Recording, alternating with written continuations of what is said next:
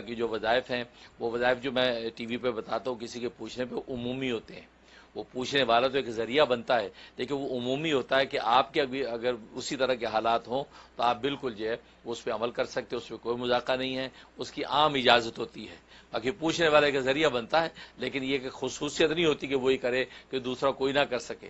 या ये कि आपने माँ सुना, किसी और शख्स को कोई तकलीफ़ हुई तो आपने मेरा वो वजीफा सुना हुआ है, उसकी भी मैंने इजाज़त दे रखी कि आप आगे बता सकते हैं कि हाँ भी मुफ्ती साहब हमें ये वजीफा बताया था, ये आप ये अमल कर लें।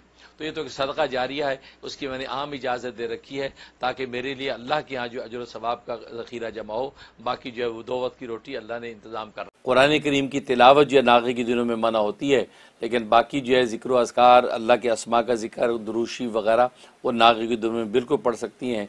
तो कोई भी इसम आज़म, या यू या क्यूम, या अल्लाह, या रहमान, या रहीम इस तरह या जजराम वगैरह तो अल्लाह के कोई भी नाम है इसमें आज़म के, वो नागी के दिनों में ख़वान पढ़ सकती हैं, उसमें कोई मजाका नहीं है।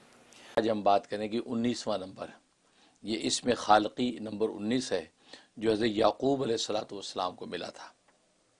हज़रत याकूब सलाम को जब ये नाम इलाका किया गया तो आपने इसका बकसर विरद किया तो मनाजिर नबूत तय हुए और मलाइका जो मवक्लिन तकरीबन सात हज़ार मलाइका मवक्लिन उनके लिए उतरे।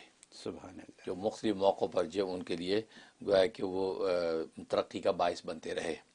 और यह है, या खालिका कुल्ला मनफ़ समा वाति वल अर्ज़, कि ए पैदा करने वाले हर उस चीज़ के, कि जो आसमान और ज़मीन में है, वह कुल्ल मादू और हर चीज़ का मर्जा वही है, क्योंकि हर चीज़ उसी की तरह लौटने वाली है। या खालिक तो ये इसमें खालकी कहलाता है। और एक तासीर बड़ी ज़बरदस्त है, अल्लाह तबारक व ताली को क़ुरब ख़ास हासिल करना चाहता है, विलायत मार्फत की मनाजिल तय करना चाहता है, इसमें ज़बरदस्त तासीर है।